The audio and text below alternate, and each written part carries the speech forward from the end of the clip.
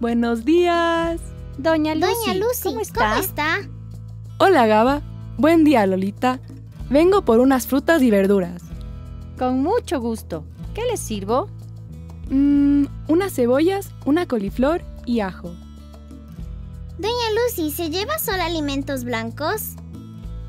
En la escuela me enseñaron que mientras más colores hay en nuestro plato, es mejor para nuestro cuerpo. Aprovechemos la variedad de alimentos que ofrece nuestra tierra. Para que nuestro plato sea saludable, incluyamos la mitad de frutas y o verduras, un cuarto de cereales, tubérculos o plátanos, y el otro cuarto de alimentos de origen animal o granos. Y para preparar o acompañar nuestras comidas, usar alimentos con grasas saludables y azúcares en pequeñas cantidades. De esta manera, nuestro cuerpo recibirá todos los nutrientes que necesita para estar muy saludable.